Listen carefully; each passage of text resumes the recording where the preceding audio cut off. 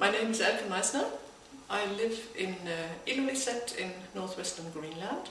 Ilulissat means icebergs, and um, the um, my company um, has um, to do with Greenlandic tourists. We uh, have visitors from visitors from all over the world in Ilulissat who uh, come to see the huge icebergs in the area. The uh, people come from Europe, but also from the States, from Australia, from everywhere.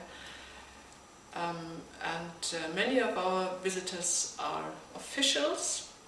I'm also the uh, honorary consul to uh, Germany, so I have to do with uh, people who come to um, look at the uh, global warming in uh, Greenland, seeing the ice cap melting.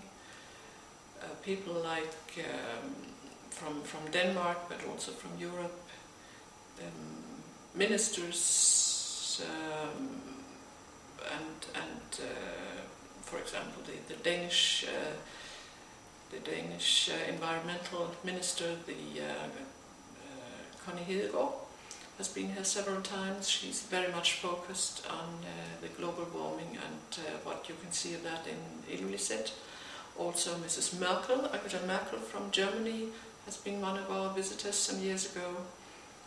Um, the, uh, many of the US uh, people interested in global warming have visited Ilulissat, so it's um, it's an interesting job to have beside of my uh, professional business, also to have all these um, official visitors during the years. I've done that since uh, 1998, so for 11 years now, and I'm continuing. The uh, tourists, as I said, come to uh, see the uh, icebergs and uh,